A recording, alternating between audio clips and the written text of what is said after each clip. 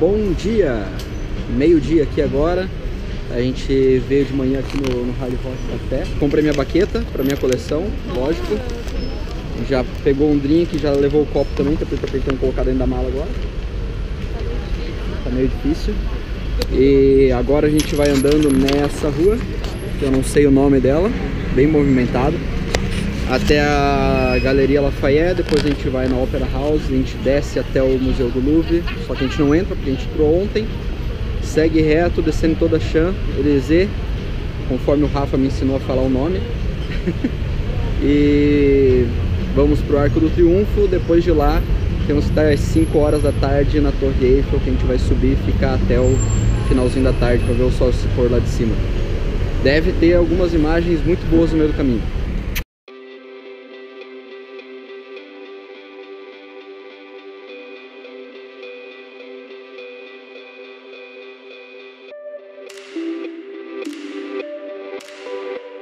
A gente entrou, viu, gostou e saiu. Não tem muito o que comprar aqui dentro não. Tudo nesse nível aqui. Mas é bonito. E já do outro lado da, La, da Lafayette você tem o Opera House.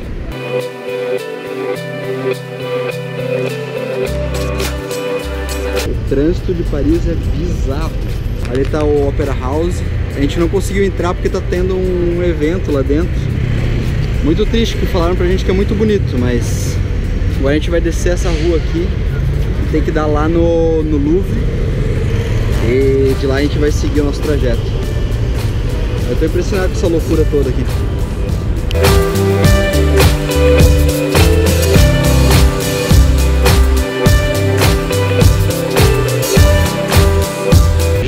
Estamos aqui caminhando pela, pela Champs-Élysées, a caminho do Arco do Triunfo, tá lá no fundo, não sei se vai dar pra ver. Em tudo quanto é canto aqui tem muito pega turista, muito.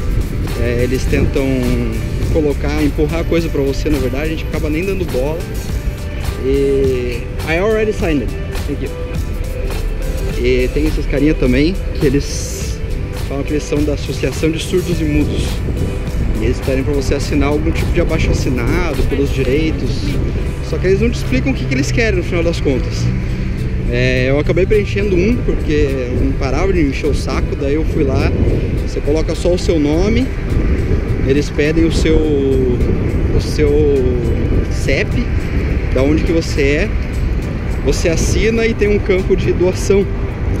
Então às vezes as pessoas colocam o valor que elas querem, assinam e elas têm que pagar, entendeu? Tem bastante, eles estão por tudo quanto é canto. Desde que a gente chegou na estação até andando nas ruas, sempre tem esses carinha pedindo pra você assinar. Os carinha querendo colocar pulseirinha em você, né? Eles vão atrás de você, eles tentam, pegaram no, no braço da Pri, queriam colocar a pulseirinha nela.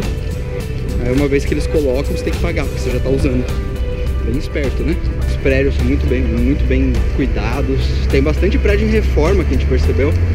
O Opera House, que a gente não conseguiu entrar, estava em reforma por fora. Tinha alguns prédios no centro ali que estavam em reforma. Tudo para manter o, o bom cuidado. Sobre o transporte público, assim, não é difícil você saber. Eu acho que se a gente tivesse internet e a gente estivesse usando o mesmo aplicativo que a gente usou em Amsterdã, a gente não se perderia. Mas você consegue saber qual a linha que você tem que pegar. Mas o difícil pra gente é descobrir qual o sentido que você tem que pegar. Porque o sentido ele só fala é, sentido a última estação. E a gente não faz ideia qual que é a última estação.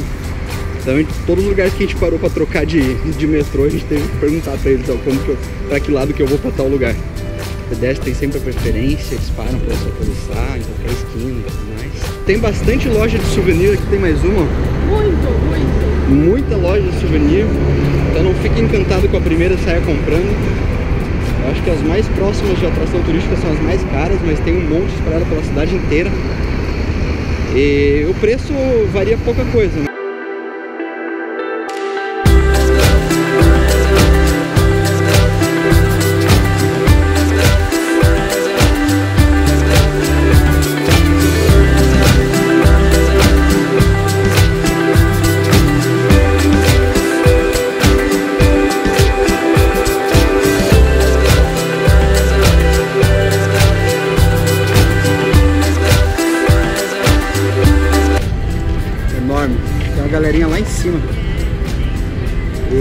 Aparentemente para atravessar esse rotatório é uma loucura.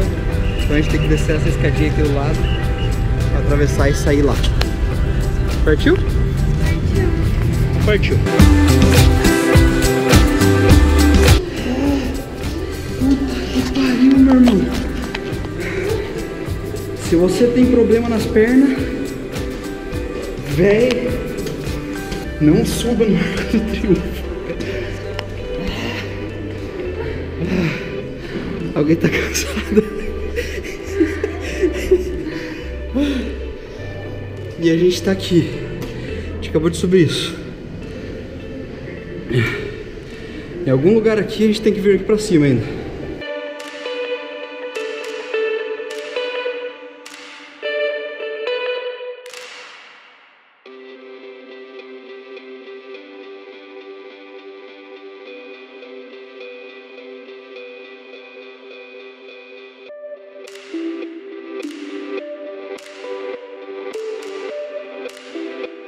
Tem uma chuvinha chegando lá.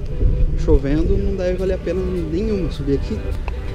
Então melhor a gente correr para pegar a torre Eiffel coberta pelo menos.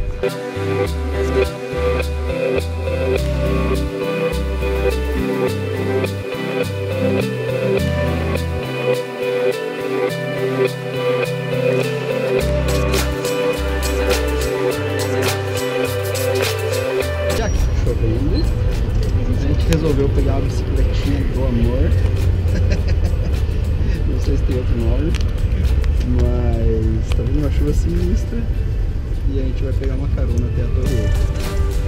É melhor que a gente descansa, né, mano? Você vê aqui, há quem diga que não vale o preço que paga, mas na boa, eu tô bem confortável.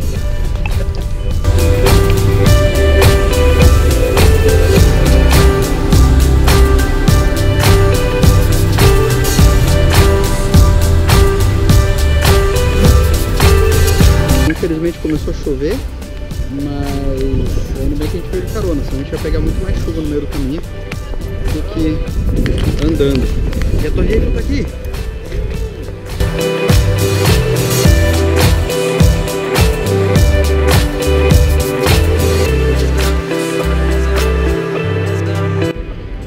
Quem que pegou chuva? Quem que tá molhada? Quem que tá super feliz de estar embaixo da Torre Eiffel? E lá que a bicicleta deixou a gente. No caminho de lá pra cá caiu o mundo aqui. Ó, a chuva tá lá ainda, ó. ah, sensacional. Sensacional. Mas Sabe é muito. a cara de gato quando toma banho? Mas é muito bonita a torre. Isso tem que falar. É muito grande isso aqui.